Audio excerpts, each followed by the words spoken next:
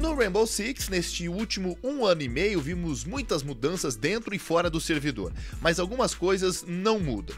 Na defesa, poucos times podem fazer frente a W7M.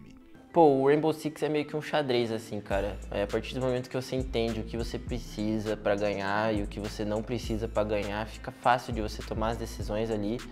E a gente trabalha isso todo dia, nessa sala de treino aqui, todo dia a gente trabalha isso. Então, eu acho que a defesa é mais isso, cara. Você entender o que, que você precisa e o que, que você não precisa e os riscos que você precisa ou não correr. Eu acho que é mais isso, a gente consegue entender bem isso. E para se ter uma ideia de como os touros entenderam o meta defensivo, se pegarmos o primeiro turno do Brasileirão 2022, a equipe terminou à frente no quesito vitórias na defesa, com uma larga vantagem sobre o segundo colocado.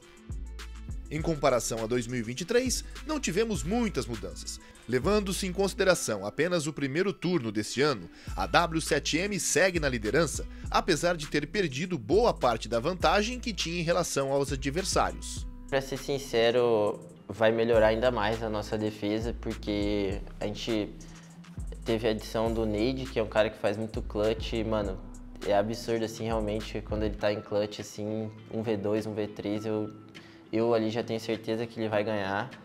Então, e o Pox também é um cara que tem esse, esse entendimento fácil assim do que a gente precisa ou não nos rounds.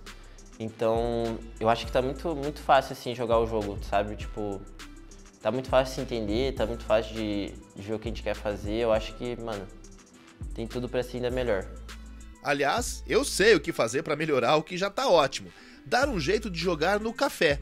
Isso porque, no mesmo período, em ambos os anos, os touros vêm dominando os aspectos defensivos desse mapa.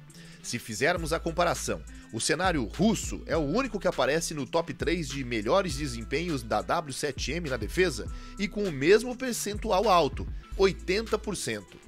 É de se esperar então que o Café Dostoiévski seja o mapa preferido dos touros, certo? Cara, tem muito mapa que o pessoal fala que é ataque, tipo fronteira, banco, assim, que, que a gente gosta de defender também. Eu acho que é de boa. Eu acho que não existe nenhum mapa assim muito difícil de defender, nem muito difícil de atacar.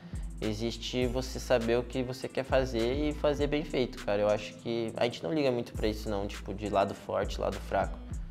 Acho que está ali, se vai jogar, tem que dar o máximo e ganhar. E ganhar é tudo que se espera, afinal, os torcedores do time ficaram muito mal acostumados com o desempenho dos touros no ano passado.